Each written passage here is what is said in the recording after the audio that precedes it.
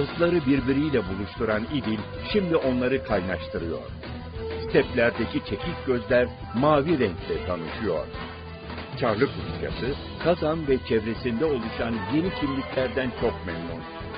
Hristiyanlığı seçenlere Kreşin, ormanlarda saklananlara Mişer Tatarı deniliyor. Ve bu değişim sürecinde bir kentin yıldızı parlıyor. İdil'in kıyısında Rusya'nın kaderini etkileyecek liderler yetişiyor. Aralarında Rus, Çuvaş, Tatar ve Moğol kökenli kavmukların bulunduğu genç kuşak 20. yüzyıla yön verecek. Bu kent Akçura, Kerenski ve Lenin'in baba ocağı. Simbirsk.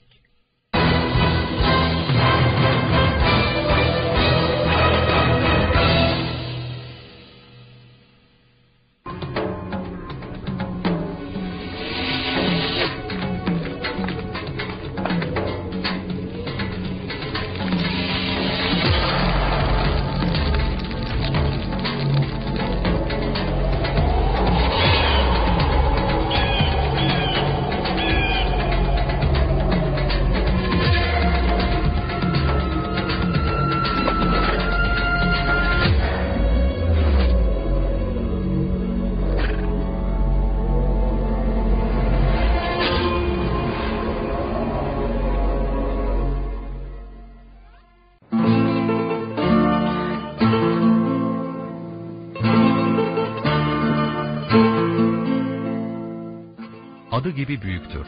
Nehirlerin okyanusu, kültürlerin geçiş yoludur İdil. 3700 kilometrelik yolculuğunda bozkırları yeşillendirir, ovalara bereket akıtır. Kıyılarında üst üste yığılmış nice uygarlık izi bulunur. Türkçe ve akraba dillerin hemen hepsinde adı Atil, İdil'dir. Yani coşkun, atılgan su. Urallarla birlikte Asya ile Avrupa'nın sınır çizgilerinden birini oluşturur. Sadece coğrafi değil, siyasi ve kültürel bir hattır İdil kıyıları. Kuzeyden gelen Viking ve Slav kalabalıkları bu nehre Volga adını verdiklerinde onun adı çok daha önceleri konulmuştu. İdil adını önce 3. yüzyıldan itibaren Orta Asya kökenli kavimlerden Sarmatlar, İskitler ve ardından Batı Hunlarının kullandığı tahmin ediliyor. Antik Yunan tarihçileri de ondan Atil olarak söz ederler. Bazı Türkologlar Batı Hun İmparatoru Attila'nın adının İdil'den geldiği görüşündedir. İdil'in varoluş şekli, akışı tıpkı Tatarların hayatı gibidir.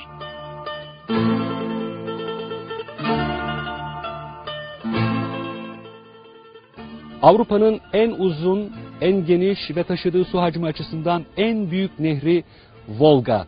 Volga 20'den fazla etnik grubun folklorunu, edebiyatını, ruhunu derinden etkilemiş. Bunlar arasında elbette Ruslar öne çıkıyor. Ruslar ona Matuşka Volga yani ana Volga diyorlar. Türklerse İtil, Atil yani büyük su, büyük nehir adını vermişler.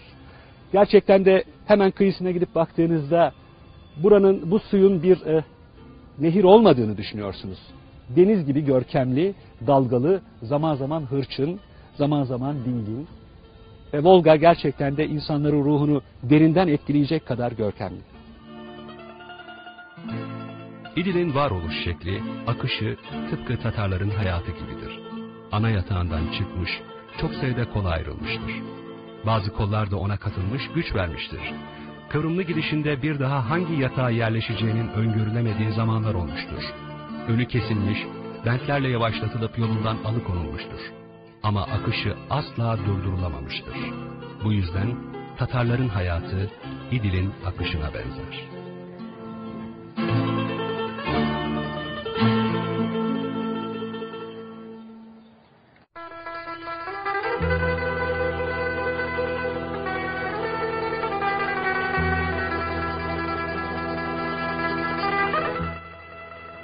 Rusya Federasyonu'nun en büyük 20 kentinden 12'si İdil kıyısında yer alıyor.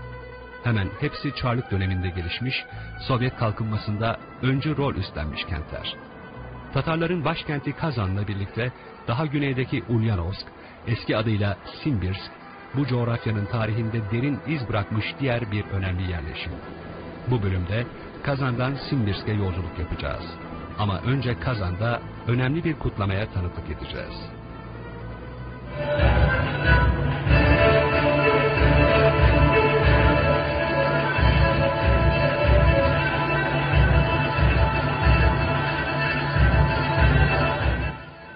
Kazan'ın aydınlanma yılları olarak tanımlanan 19. yüzyılın sonlarında inşa edilmiş Devlet Opera ve Bale Salonu'ndayız. Eskişehir, 2013 yılında taşıdığı Türk Dünyası Kültür Başkenti ünvanını Kazan'a devrediyor. 2014 artık Kazan'ın yılı.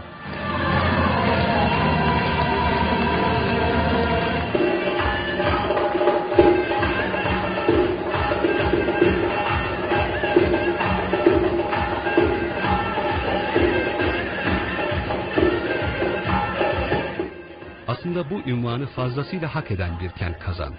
Başta Musa Celil Devlet Opera ve Bale Salonu olmak üzere kentte benzer nitelikte çok sayıda gösteri salonu bulunuyor. Edebiyata, özellikle şiire büyük ilgi duyan Tatarlar, sahne sanatlarına da bir o kadar ilgi gösteriyorlar. Bin kişilik bu görkemli salon, Tatarların milli bilinç ve uyanış döneminde rol oynayan en önemli yapılardan biri.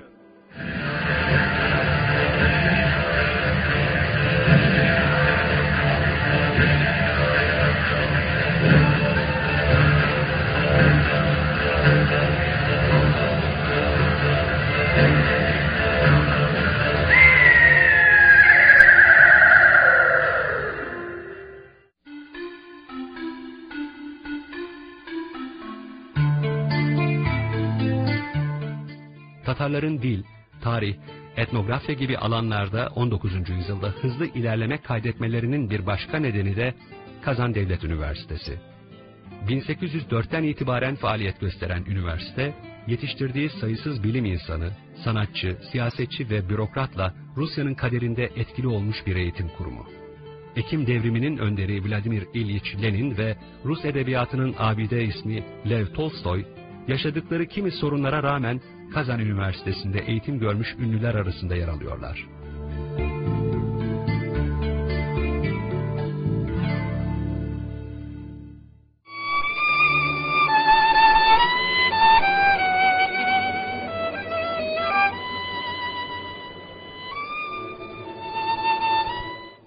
Türk Dünyası Kültür Başkenti devir teslimi nedeniyle Kazan'daki törende Türkiye'den de çok sayıda misafir vardı. Bunlar arasında Uluslararası Türk Kültürü Teşkilatı Genel Sekreteri Hüsen Kaseynov'la kısa bir söyleşide bulunuyoruz. Türk Dünyası Kültür Başkenti fikrinin mimarlarından olduğu için epey gururlu Kaseynov.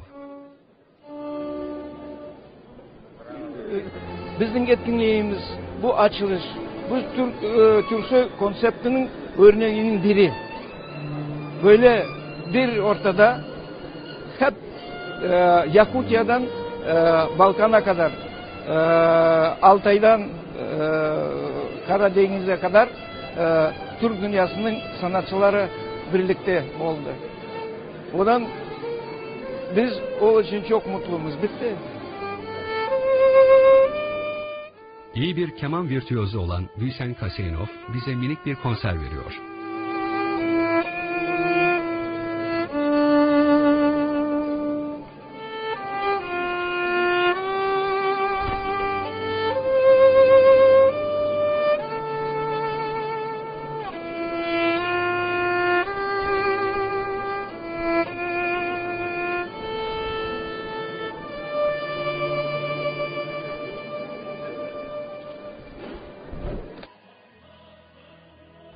Ve Eskişehir'den sonra Kazan'la devam eden Türk Dünyası Kültür Başkenti projesi, uzun seneler süren ayrılığın ardından yeni kavuşmuş kardeşlerin birbirlerini yakından tanımaları için önemli bir fırsat.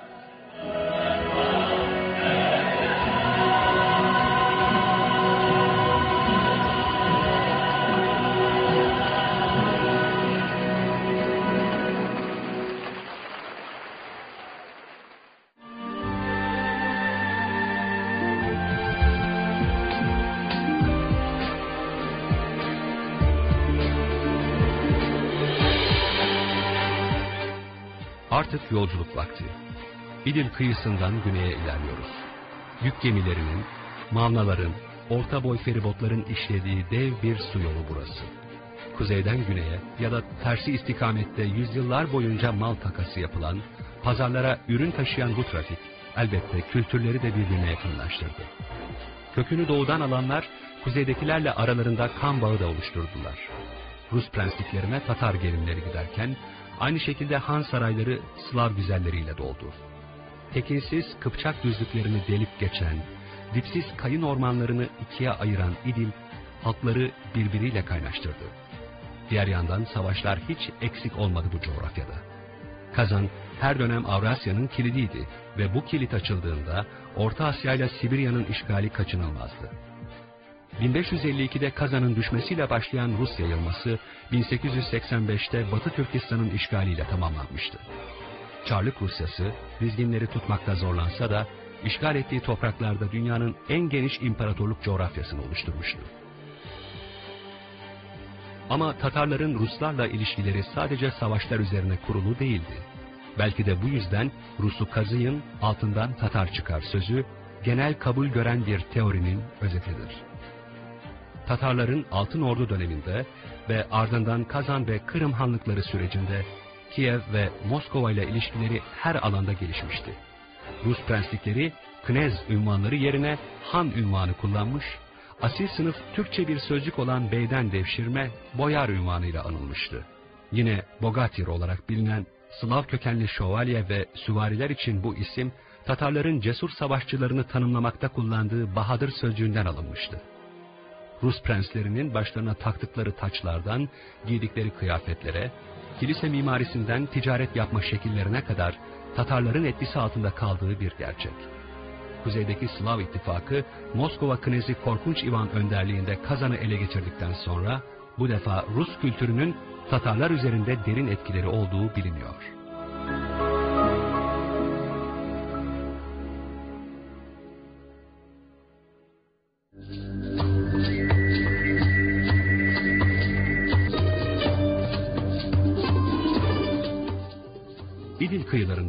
Farklı Tatar boylarıyla tanışıyoruz. Bunlar arasında en büyük grubu oluşturanlar Mişer Tatarları. Onların tarih sahnesine nasıl ve ne zaman çıktıkları tarihçilerin üzerinde uzlaşma sağlayamadığı bir konu. Kökenleri hakkında yapılan antropolojik araştırmalar, etnologların yıllar süren incelemeleri farklı görüşlerin ortaya çıkmasına neden olmuş. Bir de dil bilimciler işin içine girince Mişerlerin kökenine ilişkin teori sayısı rekor düzeye çıkmış bir grup bilim insanı onları Tatarlaşmış kadim bir yerli halk olan Meşçeralarla ilişkilendiriyorlar. Bu görüşe karşı çıkanlar, onların Türk kökenli oldukları konusunda şüphe bulunmadığını belirtiyorlar. Sadece geçmişte ormanlık alanlarda yaşam sürdürmeleri nedeniyle bu Tatar boylarına Tatarca ve Başkurtça diyaleklerinde orman anlamına gelen Farsça kökenli Mişe sözcüğünden yola çıkılarak Mişer adı verilmiş. Mişe, Anadolu Türkçesindeki meşe yani meşe ağacı sözcüğünün de atası. Bu teorinin destekçisi hayli fazla. Keza onlar da kendilerini Kazan Tatarlarının yakın akrabaları olarak görüyorlar. Yazılı kaynaklarda Mişerler ilk olarak 11. yüzyılda Başkurtlar arasında anılıyorlar. Buna rağmen bazı araştırmacılar onların geçmişini daha erken dönemlere götürüp Mişerleri Çuvaşların ve Macarların atalarını oluşturan bir topluluk şeklinde tanımlıyor. Bu çok farklı ve birbiriyle çelişkili görüşlere rağmen Mişerlerin kendilerini Tatar soyundan gelen ve İslam dinine mensup özgün bir halk olarak tanımladığını biliyoruz. Onları daha yakından tanımak için Kazan'la güneydeki Ulyanovsk kenti arasında İdil boyunda yer alan bir Mişer köyüne gidiyoruz. Burası artık Tataristan sınırları dışında bir başka özerk cumhuriyet. Türk kökenli akraba topluluk Çuvaşların topraklarındayız.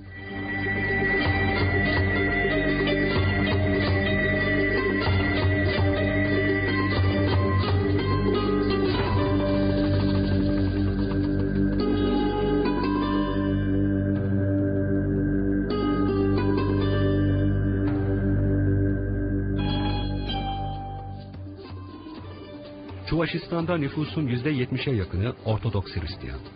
Buradaki nüfusun %3'ünü Müslüman Tatarlar oluşturuyor. Bunlar arasında Mişerler çoğunlukta. Köyün girişinde bizi cami silüetini andıran, tepesinde hilalin bulunduğu bir hoş geldiniz levhası karşılıyor. Tukay Köyü adını taşıyan bu yerleşimin girişinde köyün muhtarı Azem Şahir Su ile sohbet ediyoruz. Tukay köyümüzde Mişer diyen bir diyalek Tatarlar yaşıyorlar. E, köyümüzde 500 ev var. Orada 2000'den fazla adam yaşıyor. Elhamdülillah e, biz Müslümanız. E, burada baksanız Urmay diyen köy, e, orada da Mişerler yaşıyorlar. Bu tarafta Çuvaş köyü Çuvaşlar ile e, komşu kübük iyi elhamdülillah yaşıyoruz. Köyünüzün girişine çok güzel bir şey asmışsınız. Elhamdülillah köye kelgen her kişi bizning e, Müslüman olduğumuzu bilsin için orada e, e, ilk Allah yazılmış. E, orada da Tukay diyen ismi yazılmış. Altta da şey e, Nuh Aleyhisselam'ın duası Rabbi enzile münzelen ve ente hayru minzilin diyen dua yazılmış. Azem Şahir Su'ya köyde yaşayanların geçimlerini nasıl sağladıklarını soruyoruz. Erkekler e, inşaat yapıyor, mal kesiyor. E, bayanlar da evde e, çocuklara terbiye yapıyorlar. Bizde e, Mişerler Müslüman olduğu için, e, Çuvaşlar Hristiyan olduğu için hiç bizden oralar kız alınmaz, bizden hiç kız verilmez. Elhamdülillah bizim e, yüzümüzün kızlarımız da yeterli. Biz Çuvaş'da yaşadığı için e, her kişi kişi burada Çuvaş dilini biliyor. Ruslar ile yaşadığı için e, dinimiz biraz değişmiş. E, dedelerimiz e, ilk e, sizin gibi sizde de şey modern e, dil var. Fransız, Fransız, Alman şeyleri var, sözleri var. Bizde de aynı Rus sözleri var e, karşıda. E, onun için e, Kazan Tatarlarının dili e, adabi dilde konuştuğu için Türk diline daha yakın. Biz Mişer mi, Tatar mı, Rusya'da şey bizim için problemi yok. Her istediği işimizi yapabiliriz burada. Elbette e, örnek e, biz burada Müslüman, e, ilimizde çok e, Hristiyanlar. Biz burada dinimizni de, dilimizni de e, öğreniyoruz. E, istediği işe yapıyoruz. Örnek e, Ee, Kumşu e, köyde Urmay'da şimdi e, cami yapıyorlar. Bizim köyde medrese yapıyoruz. Hiç karışlık yok.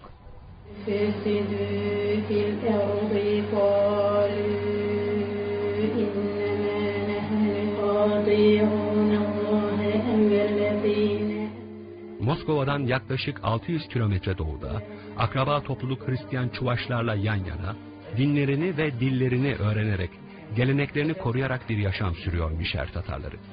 Köy camisinin yanındaki eğitim odası onların her şeyi. Ziyaretimiz sırasında köyün yaşlı hanımları Kur'an okuyor, eksikleri veya yanlışları hakkında başlarındaki eğitmenden destek alıyorlardı.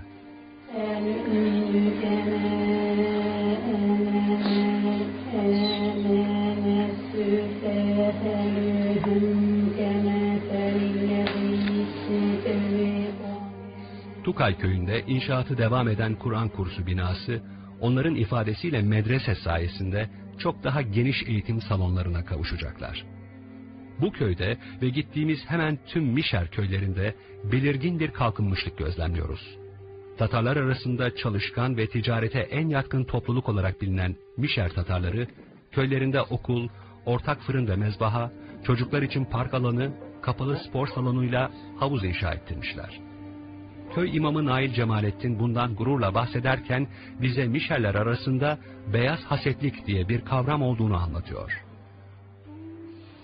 benim de olsun, onun da olsun.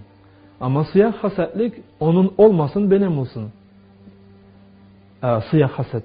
Ama bizim beyaz haset onun da olsun. Ama benim de olsun. Öyle bir niyetle yaşadığımız için elhamdülillah yaşamaktayız öyle. Köy imamı Nail Cemalettin, Tatarların son 20 yılda İslam dinini yeniden öğrenmeye çalıştığını, bu uğurda büyük çaba gösterdiklerini şu sözlerle dile getiriyor. Bizim burada aldığımız eğitimler, bizim İslam memleketi olmadığı için, yani Rusya'da elhamdülillah yaşıyoruz. Ee, Peygamberimizin hadisi var. Hubbul vatani minel iman, vatanını sevmek, vatanını e, yaratmak imanlandır. Yani bizim babalarımız, dedelerimiz, ecdadımız burada kalmışlar. Ee, biliyoruz bizim asılımız var.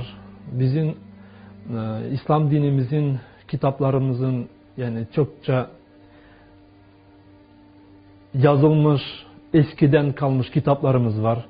Onlara dayanarak, onları okuyarak e, biz Müslümanlar olarak Rusya'da olsun, Rusya'nın başka memleketlerinde olsun Allah razı olsun Türk kardeşlerimize e, zor zamanlarda onlar yani bizim köylerimize de gelmişlerdi vaktinde Kur'an hafızlar gelerek e, öğretmenler gelerek onlar gelip bizlere yani Allah razı olsun bir şeyler gösterdiler. Bizim bazı şeylerimizi unuttuklarımız vardı. Çünkü yani kaldık Rusya'da ne kadardır o şeyler oldu. Ama bizim asıllarımız elhamdülillah vardı. Ee, Şimdi biz de onları kendi kazanımızda olsun, Ufa'da olsun, yani bizim köylerimizde Kur'an kursları olsun, onlarda okuyarak biz kendi kitaplarımızı, ke- kendi derslerimizi, kendimiz dedelerimizden kalgan kitaplarını okuyarak şimdi gençlerimize o zinciri, o silsileyi vermeye elhamdülillah bu zamanda başarmaktayız diye gözüküyor. Günümüzde İdil Ural bölgesinde Mişerlere en yakın halk Kazan Tatarları. Onlarla aralarındaki belirgin tek farksa ağız ya da şive diyebileceğimiz birkaç ses değişikliği. Geçmişten günümüze bu coğrafyada öyle büyük değişimler yaşandı ki kimin hangi kavimle akrabalığı var sorusu artık işin içinden çıkılmaz bir kimya formülüne dönüşmüş.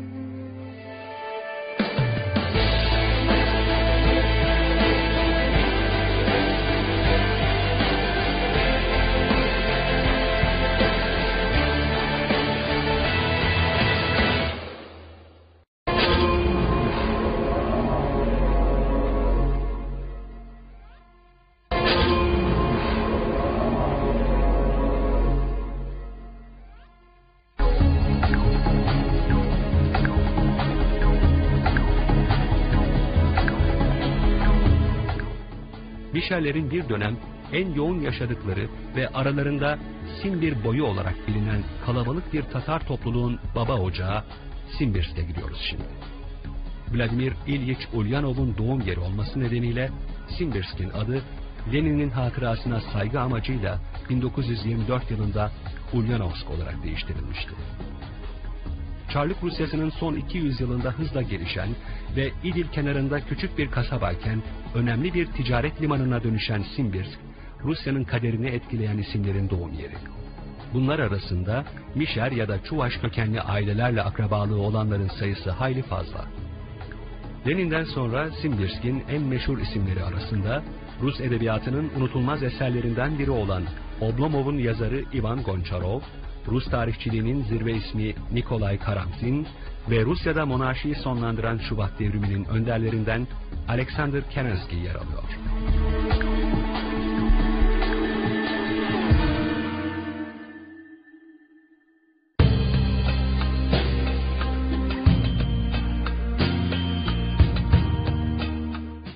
Simbirsk'te doğan, Türkiye'de büyüyen ama baba ocağıyla sürekli ilişki halinde olan Türk milliyetçisi Yusuf Akçura da buralı. Akçura, Üç Tarzı Siyaset isimli manifesto niteliği taşıyan bilimsel makalesinde Türkçülüğün neden önemli bir siyasi hareket olabileceğini tartışır. Türk dünyasında büyük yankı uyandıran bu makale, Türk milliyetçiliği alanında ilk kuramsal çıkışlardan biridir. 1916'da hemşehrisi Lenin'le İsviçre'de tanışan Akçura, farklı dünyaların insanları olmalarına karşın birbirlerine saygı duyduklarını belirtir. 1920'de Anadolu'ya geçerek milli mücadeleye katılır, 1923'ten ölümü 1935'e kadar milletvekili olarak görev yapar.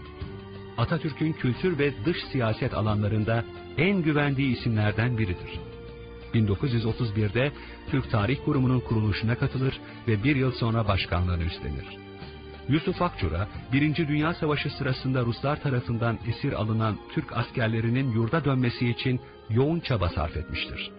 Özellikle Simbirsk ve Batum'daki esir kamplarından Türk asker ve subaylarının serbest bırakılmasında rolü büyüktür.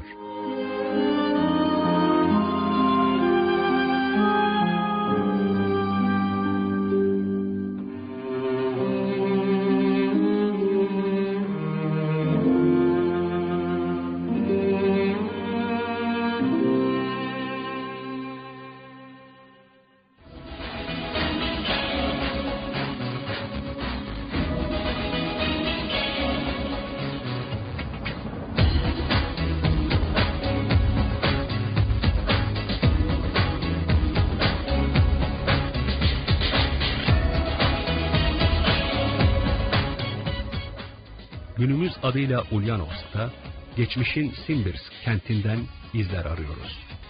19. yüzyılın sonlarında tekstil fabrikaları sahibi, oldukça varlıklı Tatar kökenli Akçura ailesinden geriye en ufak iz kalmamış.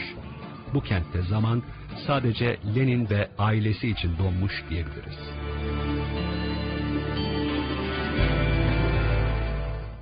Ekim devriminin önderlerinden Lev Troçki, insanın Rusya feodalizminin dehşetini iyi anlayabilmesi için Simbirsk gibi bir kentte büyümesi gerekir demiş.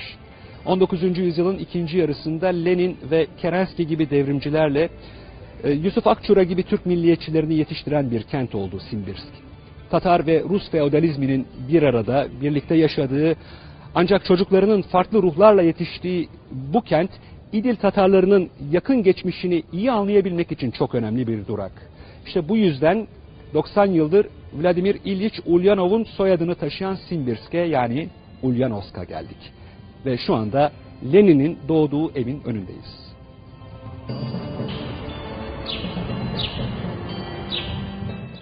Ulyanovsk'ta Lenin'in ilk gençlik dönemine kadar yaşadığı altı ev korunmuş ve müzeye dönüştürülmüş. Babasının öğretmen, bölge eğitim müfettişi ve müdürü olarak çalıştığı bu kentte Küçük İlya'nın çok etnili bir toplumda yetiştiği söylenebilir. Aslında 19. yüzyılda İdin çevresindeki Tatarlar kendi içlerinde gruplara bölünmüştür. Bu, Çarlık Rusyası'nın etnik ayrıştırma politikasının sonucudur. 19. yüzyılın ikinci yarısında Simbirsk kenti çok etnili, çok kültürlü bir kentti. Ee, Ruslar ağırlıkta idi. Çuvaşlar, Tatarlar, e, Finler, Almanlar ve yerel halklardan Mariler bir arada yaşıyorlardı. Lenin'in babası 9 yıl boyunca 6 farklı e, ev kiraladı. Sonunda aile 9. yılın sonunda 4500 gümüş ruble e, biriktirmiş oldu ve arkamda görmüş olduğunuz bu evi satın aldı. İlya Nikolaevich hayatını kaybedince ani ölümü üzerine aile bu evi sattı ve Lenin'i e, okutmak üzere üniversite eğitimini e, alması amacıyla kuzeydeki Kazan şehrine taşındı.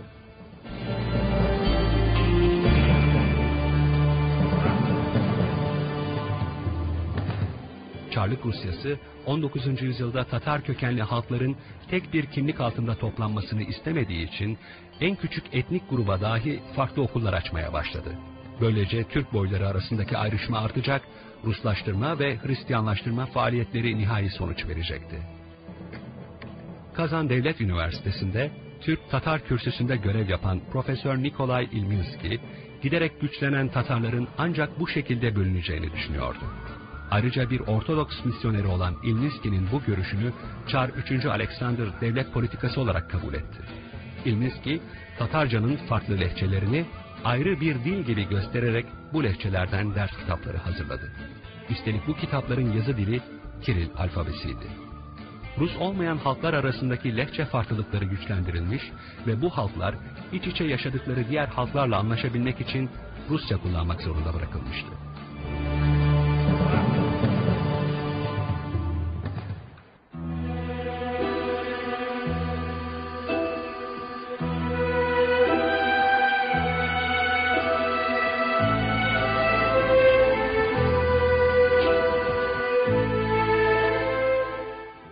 Ulyanovsk, günümüz Rusyasında hala Sovyet dönemini yaşayan bir kent görünümünde.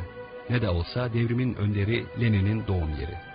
Onun hatırasına inşa edilmiş müzeler, sergi ve gösteri salonlarıyla şehrin dört bir yanına dağılmış Sovyet dönemi anıtları Ulyanovsk'u diğer Rus kentlerinden farklı kılıyor. 1941 yılında kurulmuş, 1970'te yeni binasına Lenin'in doğduğu evle birlikte taşınmış olan Lenin Hatıra Müzesi, Rusya tarihinin bir özeti gibi. Burada Çarlık dönemi, devrim yılları, Sovyet dönemi ve günümüz Rusyası muazzam bir koleksiyonda ama hepsi Lenin'in manevi silüeti eşliğinde izlenebiliyor.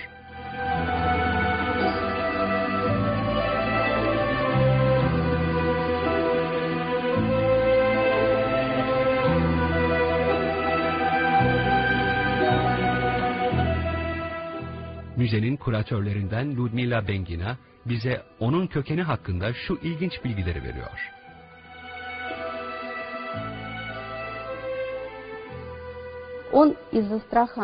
Lenin'in babası Astrahan kökenli.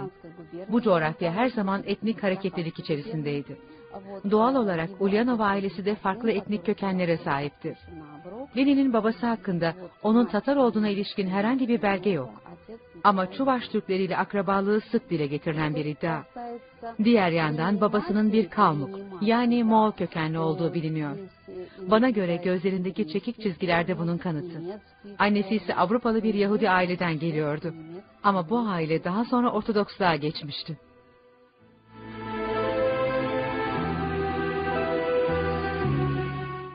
Devrim yıllarında Lenin'le görüşen Başkurt Milli Hareketi'nin önderi, tarihçi ve Türkolog Zeki Velidi Togan, ona İdil Ural Tatarları hakkında bir kitap hediye etmişti. Togan'ın aslınızda Tatarlık var mı sorusuna Lenin soy köken gibi konulara ilgi duymadığını ama araştıracağını söyleyerek cevap vermişti. Asla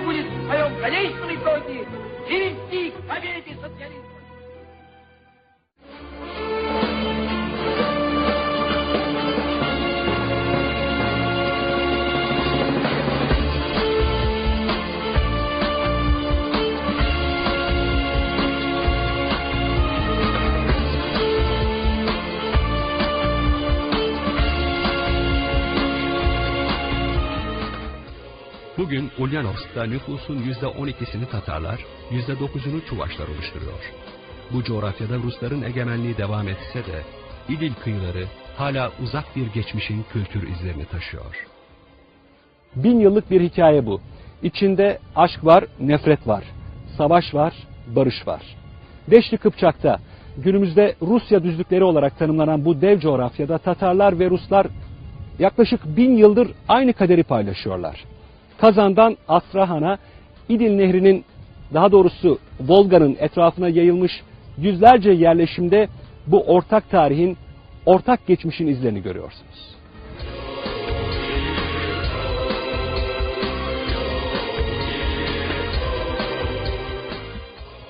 İdil etrafındaki uzun yolculuğumuz burada sona eriyor. Son üç bölümde az bilinen tarihlerini, gerçek öykülerini anlattığımız İdil Ural Tatarları için bir gün yeniden gelebilmek umuduyla bu coğrafyaya veda ediyoruz. Şimdi kuzeye çıkıyoruz. Bize uzak görünen ama unuttuğumuz kadim Türkçenin çoğul eklerini hala saklayan bir başka toplulukla buluşacağız. Gelecek bölümde haklarında çok az şey bildiğimiz kuzeydeki akrabalarımız Çuvaşlarla tanışacağız.